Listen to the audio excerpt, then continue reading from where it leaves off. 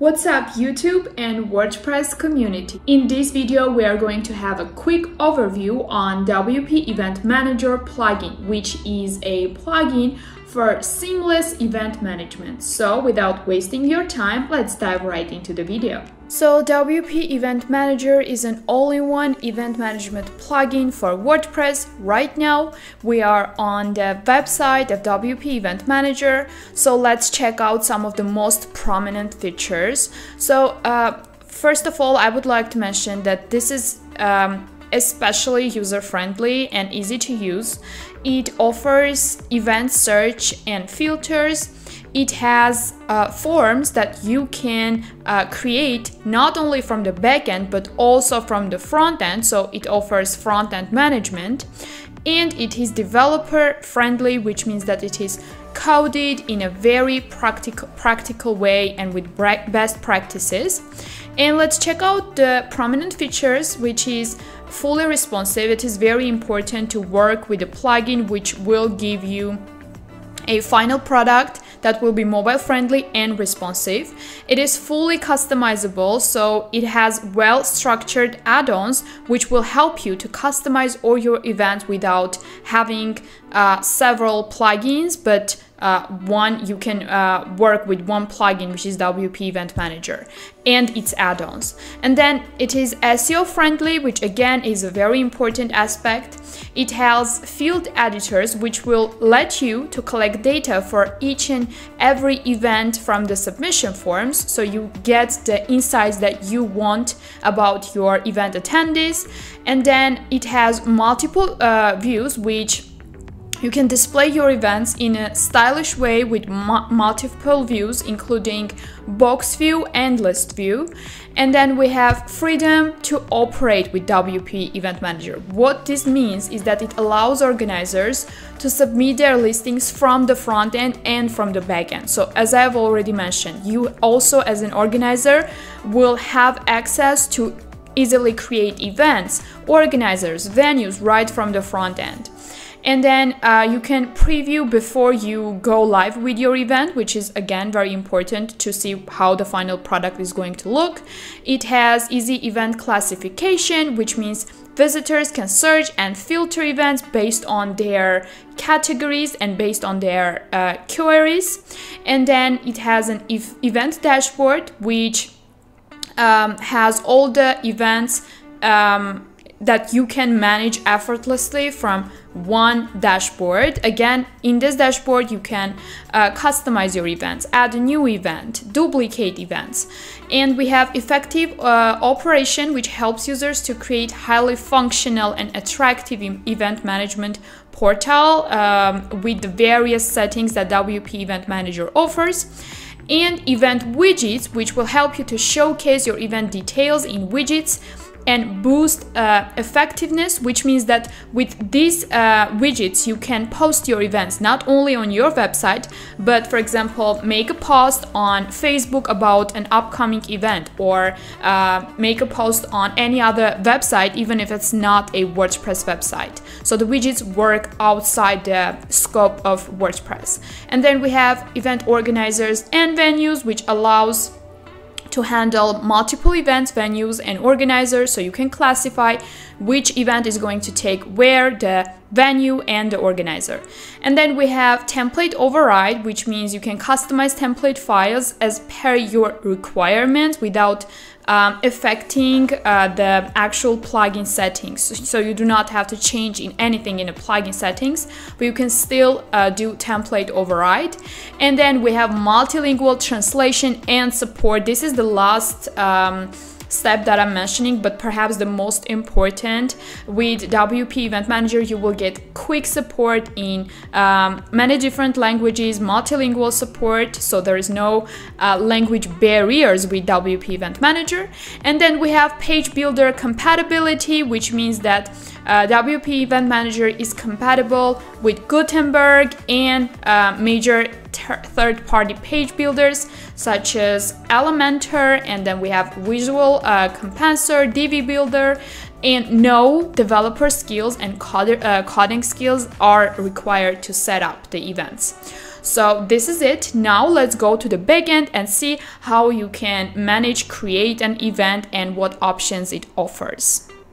So we are now at the front end of an event website that is pretty much operated by WP Event Manager. So most of the, uh, of the configurations are made with the plugin. And now let's quickly have an overview and go to the backend and see how it works. So here, um, as I've mentioned about event dashboard, we have the event dashboard and post an event, which you can post an event from the front end. From the event dashboard, you can literally uh, monitor everything as an organizers. Uh, so you can add a new event, you can download events iCalendar. You can filter those events. And for each and every event, you can delete them, duplicate them, stop them right from the front end, from event dashboards. And here we have the organizers dashboard and then as you can see uh, same from the organizers so for each and every organizer you can make um, their own like page with description and links um, to the organizer and um, here we have the organizer's dashboard right here as well. Let's see how the organizer submit form looks. So basically, this is how the forms look. So right here, if you fill in all this information, you can submit and post a new organizer. And same goes for the venue. So here we have the venue dashboard uh, right here as you can see the venue name details and by clicking on um, each and every like venue you get a separate page where you have description and you can uh, totally customize everything that you see right here on this page so now let's go to the backend and see how the uh, plugin functions. So in the backend, as you can see, I'm in the backend of the My Event platform, which is the backend of the website we have just checked out. And here we have running WP Event Manager and several other add-ons that it has. Let's quickly see how the event management looks in general. So here we have the event listing right here and in order to create a new event you just need to click on add new and once you click on add new we have the event um, dashboard right here and the backend with all the details that you need to fill in. So here we have the event title. Let's go with VIP event for example and then in the description, you have to write your event description. I will just simply miss out this not to waste time. And then we have event data. So we you can configure it whether your event is an online one or an offline on-site event, event location, registration, email, URL. And then we have zip code, event banner, so you can upload a banner for your event uh, for it to look good in the front end. Let's quickly upload this one and we will check this event out in the front end. And then we have start date of the event end date and correspondingly we have the start time and end time. You can also attach a video URL if you have any reference of the event that for example, maybe took place previously, uh, you can attach the URL as well. And then you have registration deadline. So this is the deadline until when people can register for the event.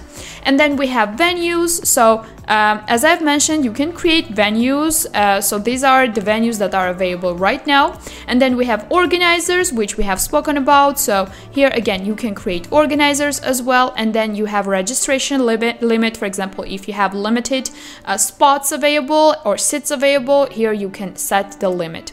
And then event recurrence. So with WP Event Manager, you can make recurring events, which means, for example, if you have an event that takes place every day or every year or every week, you do not have to create the same event every time it needs to reoccur. You can create one event and then set the reoccurrence to daily, weekly, monthly, or yearly basis. And uh, based on your configurations it will automatically run uh, during the days that you set the event. And then we have attendee information collection type. So you can collect information of the buyer only uh, or of the registered person only or all the attendees. For example, if one person bought four tickets, you can uh, get information for all the four people that are coming to your event. This is very important to be able to um, have the insights that you need. And then we have uh, attendee information to collect. This again is customizable. You can uh, add registration form fields uh, with WP Event Manager, and then we have uh, expiry date when your event is going to expire and um, if this is a Zoom meeting or webinar, you can select that as well. And uh, I would like to uh, pay a quick attention on the tickets. So with WP Event Manager, you can create events with sell tickets.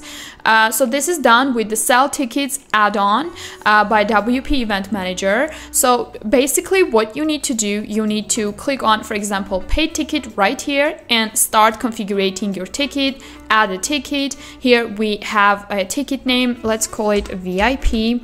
And then we have uh, a number of tickets. So for example, we have 100 tickets and then we have ticket price, let's set it to 200 for example. And then you can uh, write down ticket description if needed. Um, here we have uh, fees, so you can um, attach fees to the price per your country's um, countries like fees and policies and then we have uh, you can make the um, ticket either public or private and then you can set the minimum number that person can get and then set the maximum number. For example per attendee can get only five tickets. And then we have sales start date and sales end date. Uh, and again let's configure this to see just to see how it looks in the front end. You can set also ticket priorities and you can also select a Zoom meeting or webinar if this is an online ticket and you just need to click on save all tickets and uh, let's quickly publish this event and see how it looks. Again, you can customize this. Remember that I just try to make it as quick as possible. So here, as you can see in the front end, we have made it um, we made the event live and here is the banner. So if you have written a description that sh should also appear right here. So as you can see for this event i cannot really um, buy a ticket because the registration is already closed because we have set a registration deadline earlier in the um, configuration section so this is pretty much it. I um, hope you enjoyed it. If you have any questions, leave it in the comment section down below. I will leave all the links to WP Event Manager in the description down below and uh, you can check out their YouTube channel and see uh, very detailed uh, step-by-step -step tutorials on how you can use the plugin. So you might also want to check that out and this is pretty much it. So this was it for our today's tutorial. I really hope you enjoyed it. If you have any questions concerning the plugin, you can leave them in the comment section down below as I have already mentioned. And do not forget to show your love by subscribing to our YouTube channel and hitting your notification bell for upcoming tutorials. See you soon. Bye!